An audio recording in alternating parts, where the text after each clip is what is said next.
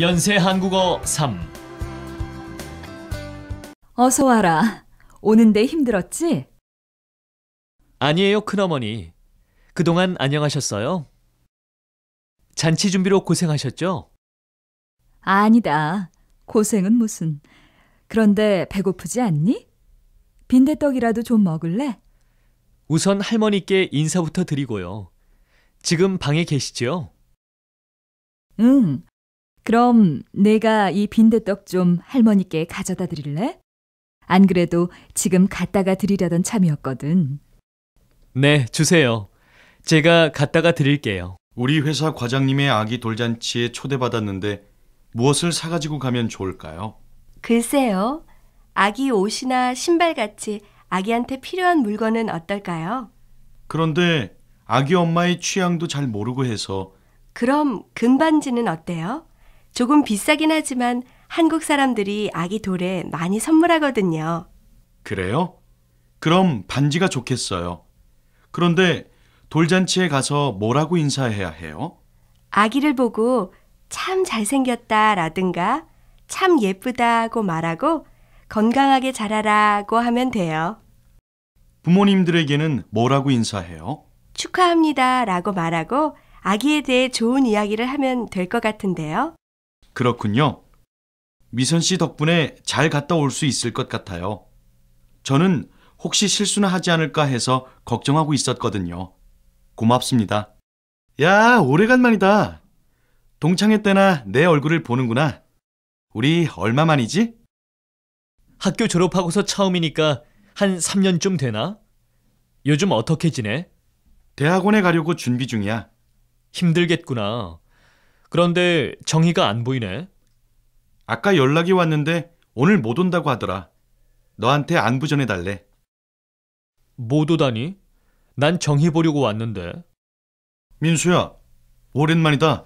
웬일이야? 이번 금요일에 신입생 환영회가 있는데 선배님 오실 수 있죠? 이번 금요일?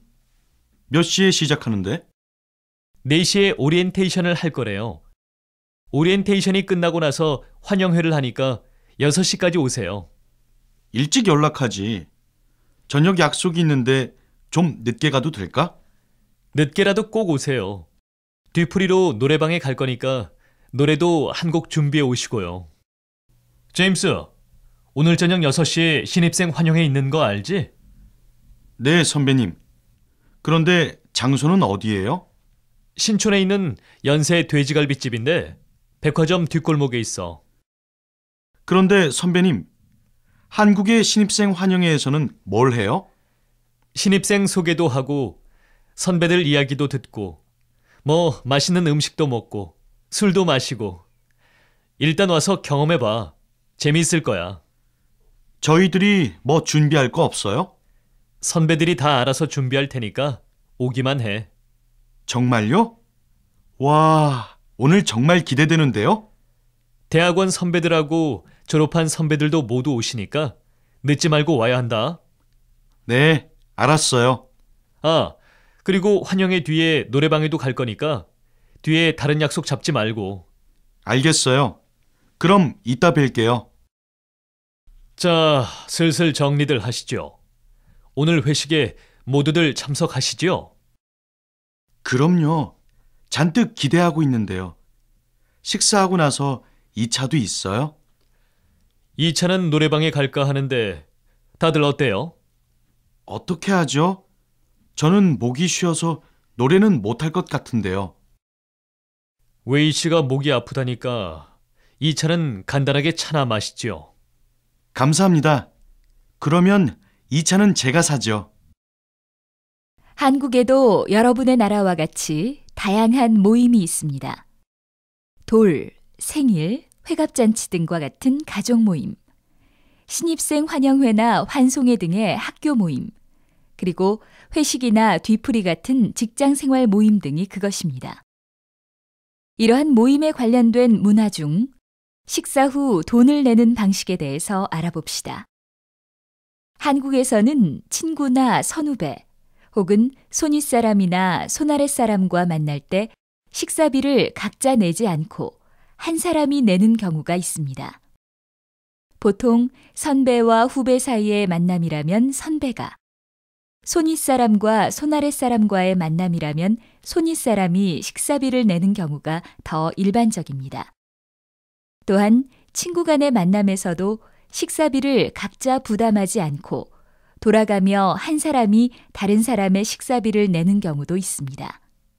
하지만 최근에는 서양 문화의 영향을 받아 식사비를 각자 부담하는 경우도 있습니다. 제임스 씨, 어떡하죠? 저 오늘 실수를 했어요. 왜요? 무슨 일인데요? 선생님께 숙제를 낸다는 것이 그만 제 일기장을 냈어요. 어떻게 하죠? 뭐가 문제예요? 다시 달라고 하세요. 벌써 선생님이 숙제 검사를 하셨을까봐 걱정이 돼서 그래요. 무슨 비밀 내용이 있나 봐요? 저도 궁금해지는데요. 어머, 리에 씨, 어떡하죠? 왜요? 리에 씨가 부탁한 김밥을 사왔는데요. 참치김밥을 산다는 것이 그만 김치김밥을 사왔어요. 잠깐만 기다릴래요? 제가 다시 바꿔올게요. 아니에요, 미선 씨. 괜찮아요. 김치김밥도 좋아요. 그렇지만 리에 씨는 매운 것을 싫어하지 않아요? 김치김밥 정도는 먹을 수 있어요. 자, 같이 먹어요. 아, 난 요즘 왜 이렇게 실수를 잘할까? 중요한 약속도 깜빡깜빡 잘 잊어버리고. 저도 그래요. 요즘 일이 바빠서 더 그런 것 같아요. 음, 김밥 정말 맛있네요. 어서 드세요. 네, 리에 씨. 미안해요. 다음에는 꼭 제대로 사올게요. 오늘 하숙집 아주머니한테 그동안 참았던 말을 해버렸어요. 무슨 말을요? 하숙집에서 식사할 때마다 찌개를 덜어 먹지 않고 같이 먹어서 좀 불편하다고요. 한국에서는 친한 사람들끼리 그렇게들 먹어요. 그래요? 저는 그런 줄도 모르고 하숙집 아주머니께 비위생적이라고 불평했어요. 하숙집 친구들은 가족 같은 사이잖아요. 같은 그릇에 먹어도 괜찮을 것 같은데요. 어머, 영수 씨, 여기 웬일이에요? 약속이 있어서 근처에 왔다가 잠깐 들렀어요. 어제 제가 한 부탁이 부담이 됐을까봐 걱정이 되어서요. 아니에요. 제가 너무 직접적으로 거절을 해서 화가 난 건 아니지요? 그럴 리가요. 오히려 제가 미안한데요. 그럼 저 그만 가볼게요. 그냥 가려고요? 저하고 차라도 한 잔 하고 가지 그래요. 볼 일도 있고 해서 빨리 가봐야 해요. 차는 다음에 마시지요. 리에 씨, 어제 일은 정말 미안했어요. 사과할게요. 아이, 뭐, 별일도 아닌데요. 신경 쓰지 마세요. 그래도 제가 갑자기 그런 말을 해서 당황하셨죠? 조금은 그랬지만 괜찮아요. 이해할 수 있어요. 나쁜 뜻으로 그런 것은 아니니까 넓은 마음으로 봐주세요. 알았죠? 그 대신 제가 오늘 맛있는 점심 살게요. 그렇게 아무 일도 아닌 걸 가지고 점심을 사고 그래요. 그냥 잊어버리세요. 아니에요. 이런 기회에 리에 씨와 같이 이야기할 수 있게 되어서 오히려 더 잘 됐어요. 자, 어디로 갈까요? 한국 사람들은 미안하다는 말을 잘 안 쓰나 봐요. 맞아요. 그래서 오해를 살 때도 있어요. 그런데 무슨 일 있었어요? 어제 어떤 사람이 길에서 저하고 부딪혔는데도 미안하다는 말을 하지 않았어요. 그래요? 그 사람이 부딪히고도 사과를 하지 않았단 말이에요? 미안하다고는 하지 않고 괜찮냐고만 계속 물었어요. 그랬군요. 어떤 한국 사람들은 미안하다는 말 대신에 다른 방법으로 미안함을 표현하기도 해요. 문화 충격이란 어떤 사람이 새로운 문화권에 들어갔을 때 두 문화의 차이에 의해 느끼게 되는 충격을 말합니다. 사람들은 새로운 문화에 익숙해지는 과정에서 누구나 문화 충격을 느낄 수 있습니다. 외국에서 생활하다 보면 사람들의 생각, 언어, 습관 등 많은 것들이 낯설기 때문에 사람들은 뜻하지 않은 실수를 하게 되기도 합니다. 예를 들어 한국에서 여자 두 명이 팔짱을 끼고 정답게 걸어가는 모습을 보았다고 합시다. 이 모습에 대해서 여러분은 어떻게 생각하십니까? 어떤 문화권에서 온 사람은 참 이상한 모습이라고 생각할 수도 있고 또 다른 문화권에서 온 사람은 아무렇지 않다고 생각할 수도 있습니다. 한국에서는 친한 친구 사이일 경우 남자끼리 혹은 여자끼리 손을 잡거나 팔짱을 낄 수 있습니다. 만일 우리가 이러한 사실을 모르고 있었다면 실수를 할 수도 있을 것입니다. 우리는 이러한 문화 차이에 의한 실수를 피하기 위해 외국어를 배울 때 그 문화에 대해서도 바르게 배워야 할 것입니다. 이번 야유회 언제 가는 게 좋을까? 금요일 오후에 1박 2일로 가는 게 좋겠어요. 주말에는 너무 복잡하잖아요. 그래. 사람들이 복잡한 줄 알면서도 주말에 많이 놀러 가니까. 그럼 장소와 일정은 어떻게 하죠? 내일 동아리 전체 회의가 있으니까 같이 의논해 보도록 하자. 어때? 그게 좋겠어요. 모두들 관심이 있을 테니까요. 다음 주말에 우리 동아리 회원들끼리 야유회를 가려고 하는데요. 어디로 가는 것이 좋을까요? 어떤 행사를 할 것인가에 따라 장소를 정해야 할 것 같아요. 음, 오랜만에 갖는 모임이니 장기자랑 같은 재미있는 행사가 있으면 좋겠어요. 그럼 남이섬 어때요? 너무 멀지도 않고 또 근처에 맛있는 식당도 많고. 아, 거기가 좋겠네요. 그럼 좀 더 구체적인 일정을 짜보도록 할까요? 아침 8시에 학교 앞에서 출발하면 10시쯤 남이섬에 도착할 거예요. 2시간 정도 산책을 한 다음 점심 식사를 하고 그 다음에 장기자랑을 합시다. 그런데 그런 행사를 할 만한 장소가 있을까요? 제가 좀 알아볼게요. 아, 참. 장기자랑 사회는 누가 보지요? 그런 일은 미선 씨가 잘하니까 미선 씨한테 맡기는 게 어때요? 좋아요. 우리는 행사 준비와 정리를 맡고 진행은 미선 씨가 하고 이렇게 일을 나누면 되겠네요. 제임스 씨, 요즘도 중국어 공부해요? 아니요. 조금 배우다가 발음과 억양이 어찌나 어려운지 포기하고 말았어요. 외국어 공부는 정말 어려워요. 저도 영어를 배우고 있는데 쉽지가 않네요. 그럼 우리 언어 교환할까요? 저도 중국어를 다시 배우고 싶거든요. 저도 영어를 좀 더 연습하고 싶었는데 마침 잘 됐네요. 제임스 씨는 언제 시간이 나요? 저는 월요일이나 수요일 오후가 좋은데요. 선생님, 오늘 니에 씨가 못 온대요. 왜요? 무슨 일이 있대요? 글쎄요. 말은 안 하는데 표정이 어두운 걸 보니까 안 좋은 일이 있나 봐요. 그래요? 무슨 일일까? 어제는 저와 영화를 보기로 약속했는데 점심을 먹고는 아무 말도 없이 그냥 가버렸어요. 무슨 일인지 한번 물어보세요. 아무리 말 못할 고민이 있어도 친구한테는 말할지도 모르잖아요. 선생님, 한국 대학교에 입학하고 싶은데 어떻게 해야 해요? 먼저 입학 원서를 접수시키고 입학 시험을 봐야 해요. 원서만 내면 돼요? 학교마다 다른데 고등학교 성적표와 자기소개서도 필요해요. 면접 시험도 봐야 하고요. 그 밖에 준비할 것은 없나요? 아, 마리아 씨는 외국인이라서 한국어 시험도 봐야 해요. 요코 씨, 학교를 졸업한 후에 뭐 할 거예요? 저는 회사에 취직을 하려고 해요. 제임스 씨는요? 저는 대학원에 진학해서 공부를 계속할까 해요. 그런데 혹시 한국에서는 어느 대학교가 한국학으로 유명한지 알아요? 글쎄요. 저도 잘 모르겠는데요. 그런 문제라면 학교 상담 선생님께 한번 여쭤보시는 것이 어때요? 학교 상담실에 진학에 대한 자료가 많이 있을 거예요.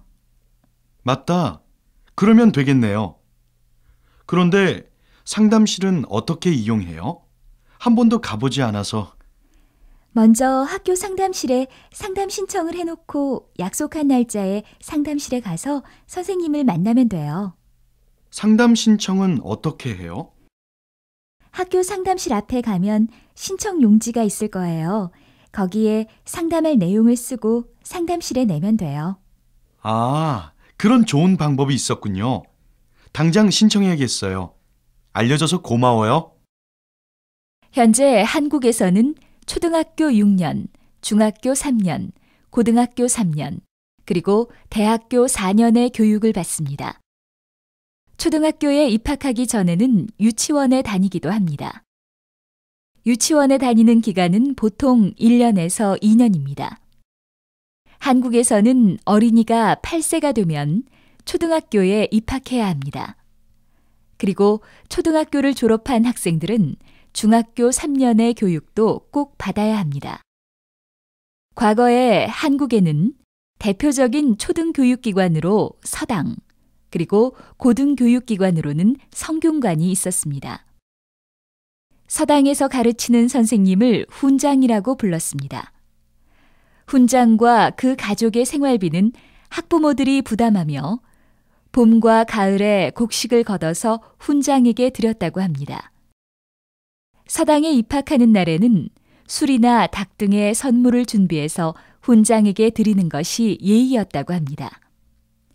한국에서는 예부터 이렇게 스승을 공경하는 풍습이 있어 왔습니다. 이는 현재 5월마다 스승의 날을 기념하는 한국인의 마음속에 아직도 남아 있습니다. 뭐 좀 먹으러 가는 길인데 같이 갈래? 같이 가고는 싶지만 지금 남은 숙제를 해야 돼. 어제 끝낸 줄 알았는데 다 못했어? 다 하기는 어제 저녁에 갑자기 회사 동료가 찾아와서 이야기하느라고 밤을 새웠어. 아, 어쩐지. 그래서 오늘 피곤해 보이는구나. 음, 미안하지만 오는 길에 음료수 좀 부탁해도 될까? 제임스, 어디가? 응, 도서관에 가는 길이야. 지난번에 빌린 책을 반납하려고. 그래? 나도 도서관에 가는 길이었는데. 그럼 미안하지만 혹시 내 책도 좀 반납해 줄 수 있어? 나도 지금 책을 반납하러 가는 길이었거든. 그래. 이 책만 반납하면 돼? 응, 그래. 고마워. 난 이제 시내에 갈 건데, 뭐 부탁할 거 없니? 시내 어디? 명동 백화점에. 그럼 음악 CD 한 장만 사다 줄래? 그래. 무슨 CD인데? 이승재의 새로 나온 CD. 아, 그거 나도 들어봤는데 진짜 좋더라. 알았어. 사다 줄게. 고마워. 역시 친구밖에 없다니까. 여기 돈 있어. 한 만 원쯤이면 될 거야. 아니야. 돈은 나중에 줘. 내가 카드로 한꺼번에 계산할게. 그럴래? 알았어. 그럼 돈은 내일 학교에서 줄게. 고마워. 여기에서 사진 한 장 찍고 가자. 저기 지나가는 아저씨한테 부탁해 볼까? 저 죄송하지만 사진 좀 찍어 주실 수 있으세요? 아, 저요? 네, 찍어 드릴게요. 이걸 누르기만 하면 돼요? 네. 뒤에 있는 기린도 나오게 찍어 주세요. 어, 뒤로 한 발짝만 물러나시면 더 좋을 것 같은데요. 자, 이제 찍습니다. 하나, 둘, 셋. 정말 감사합니다. 저 마리아 씨 부탁이 좀 있는데요. 들어줄 수 있어요? 무슨 부탁인데요? 제가 다음 주에 발표를 할 수 없는데 발표 순서를 저하고 바꿔줄 수 있어요? 발표를 못하다니 무슨 일이 있어요? 회사 일 때문에 지방 출장을 가야 해서요. 어떻게 하지요? 저도 다음 주에는 중요한 시험이 있어서 어려울 것 같은데요. 그래요? 그럼 다른 친구한테 부탁해 볼게요. 신경 쓰게 해서 미안해요. 어제 거절하는 방법에 관한 책을 읽었어요. 그래요? 재미있었겠는데요? 네. 평소에 거절하는 것이 어려워서 부탁을 들어주겠다고 하고 고민하는 경우가 많았거든요. 저도 좀 그런 편이에요. 좋은 방법 좀 가르쳐 주세요. 먼저 착한 사람 콤플렉스에서 벗어나는 것이 중요하대요. 착한 사람 콤플렉스라니요? 아니요 라고 말하고 싶지만 이기적인 사람으로 보일까봐 네 라고 대답한다면 착한 사람 콤플렉스에 빠진 거래요. 할 수 없는 일을 적당히 거절하는 것이 착하다는 칭찬을 받는 것보다 중요하대요. 그런 것 같네요. 또 다른 방법은요? 자신의 한계를 먼저 파악하는 것이 중요하대요. 부탁받는 순간에는 승낙하는 것이 편하게 생각될지도 모르죠. 그러나 자신의 일을 미리 생각하지 않고 약속해 놓고는 일을 잘 끝내지 못해 쩔쩔매면 더 곤란해지잖아요. 듣고 보니 다 맞는 말이네요. 과장님, 이번 일요일에 중국 거래처에서 손님이 오신다죠? 네. 귀한 손님들이 오시는 거니까 신경 써서 준비해 주세요. 과장님도 공항에 마중 나가실 건가요? 네. 그렇지 않아도 웨이 씨한테 부탁을 하려고 했어요. 혹시 그날 저녁에 통역을 해줄 수 있어요? 일요일 저녁이요? 그땐 좀 곤란할 것 같은데요. 중요한 선약이 있어서요. 그래요? 그럼 다른 사람을 찾아보지요. 한국에는 말과 관련된 속담이 많습니다. 이러한 속담들은 말을 할 때 지켜야 할 예의나 말과 관련하여 조심해야 할 행동들을 나타내고 있습니다. 예를 들어, 가는 말이 고와야 오는 말도 곱다는 자기가 먼저 남에게 좋은 말로 잘 대해 주어야 남도 자기에게 잘 대해 준다는 말입니다. 이 말은 우리의 생활 속에서 언어 예절의 중요성을 강조하는 면을 보여주고 있습니다. 그 밖에 말에 관련된 속담으로 말 한마디로 천냥빚 갚는다는 말은 말만 잘하면 어떤 어려움도 해결할 수 있다는 말입니다. 아 다르고 어 다르다는 말은 같은 내용의 말이라도 아라고 말할 때와 어라고 말할 때 그 느낌이나 내용이 달라진다는 말로 말을 조심해서 하라는 말입니다. 그리고 입은 비뚤어져도 말은 바로 하라는 언제든지 말을 정직하게 해야 한다는 말입니다. 한국에서는 그 밖에도 말과 관련된 속담들이 많이 있는데 이는 우리 조상들이 옛날부터 일상생활 속에서 언어 예절을 매우 중요하게 생각했다는 것을 보여줍니다. 뭘 그렇게 보세요? 고등학교 때 사진이요. 그때 친구들이 보고 싶어지네요. 옛날 일을 추억하면 기분이 좋아지죠. 고등학교 때 정희 씨는 어땠어요? 저는 영화를 참 좋아했었어요. 공부를 하다가도 갑자기 영화 보러 가곤 했어요. 그러셨군요. 그래서 정희 씨 집에 유난히 영화 관련 잡지가 많았군요. 말이 나온 김에 우리 같이 영화 보러 갈래요? 이야, 정말 오랜만이다. 이게 몇 년 만이지? 고등학교 졸업하고 처음이니까 한 10년쯤 됐나 보다. 그래, 정말 반갑다. 그동안 어떻게 지냈어? 응, 나는 한 3년 동안 호주에 유학 갔다 왔어. 너는? 난 대학 졸업 후에 무역회사에 취직했어. 그랬구나. 우리 고등학교 때는 단짝 친구였는데. 매일 같이 공부도 하고 밥도 같이 먹고 놀기도 하고. 맞아. 어쩌다 보니 이렇게 시간이 흘렀구나. 아, 그때 우리가 자주 가던 그 떡볶이집 아직도 있는지 모르겠다. 그래, 아주 맛있었는데. 우리 그 집에 같이 가볼까? 어때? 좋아. 그 집 아주머니 진짜 친절하시고 떡볶이도 많이 주셨는데. 맞아. 그 시절이 그립다. 그때는 아무런 걱정도 없고 언제나 즐거웠던 것 같아. 아, 다시 그 시절로 돌아가고 싶다. 나도 그래. 여기도 많이 변했어요. 10년 전만 해도 이렇게 큰 건물이 없었는데. 10년 전에는 어땠는데요? 길 양쪽에 극장이 있었는데 모두 단층 건물이었지요. 그때보다 많이 발전되었다는 말인가요? 조금 더 화려해지고 커졌다고 할 수 있지요. 시간이 흐르면 모든 것은 변하니까요. 시간이 참 빨라요. 어느새 우리가 만난 지 1년이 다 됐네요. 벌써 그렇게 됐군요. 여기에 와서 많은 것을 배웠어요. 언제 귀국하세요? 조금 더 여기에 있을 계획이에요. 회사 사정도 있고요. 웨이 씨가 만약 한국에 오지 않았다면 어땠을까요? 아마 결혼을 했을 거예요. 부모님이 많이 바라셨거든요. 만약에 여러분이 대통령의 아들이나 딸로 태어났다면 어땠을까요? 여러분의 생활이나 계획이 어떻게 달라졌을까요? 여러분은 지금의 생활보다 그 생활을 더 사랑할까요? 만약에 여러분이 지금부터 5천년 전에 태어났다면 어땠을까요? 만약에 여러분이 지금까지 살아오는 동안 가장 후회하고 있는 일을 하지 않았다면 어땠을까요? 만약에 말입니다. 우리는 이렇게 우리의 현재나 과거의 상태와는 다른 어떤 상황을 가정해 볼 수 있습니다. 저는 가끔 만약에 내가 천재로 태어났다면 어땠을까를 상상하곤 합니다.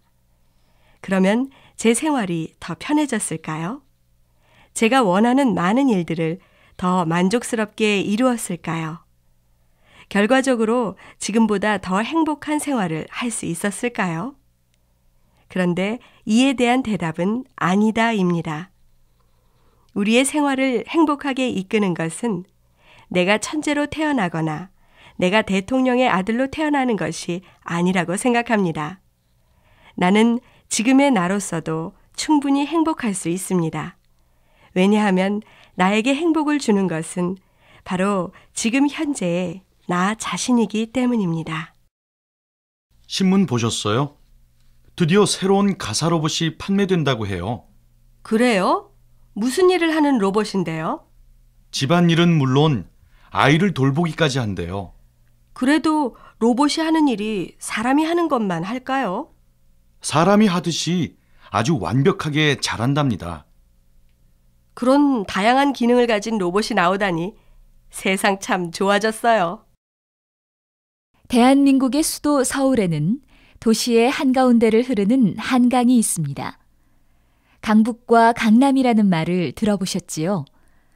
한강을 중심으로 서울을 둘로 나눌 수 있는데 강의 북쪽 지역을 강북, 강의 남쪽 지역을 강남이라고 부릅니다.